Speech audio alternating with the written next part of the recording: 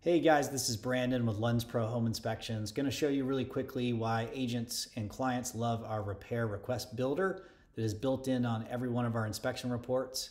Uh, this is one of our inspection reports. If you see the uh, report tools up here at the top, click on the re repair request builder.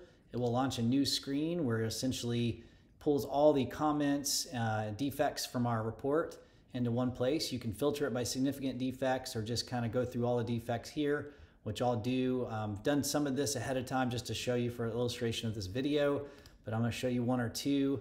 They do have things like the um, canned comments here, like repair requested. Uh, on this one, I'm actually gonna request credit. I'll just put $500. Um, I've done some of them already, but within just a few minutes, you can go ahead and pre-fill this out, hit preview, and this is something that you can save as a PDF and send to other parties in the transaction. As you can see, all of our pictures from the report pull in.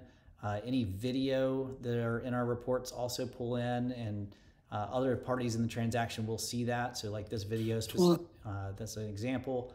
Down at the bottom, it does accumulate the amount that we've requested, which is $1,000. So this is great when you're negotiating for repairs uh, or even putting together like a, a handyman punch list. Hope you like it. Thank you so much for your time.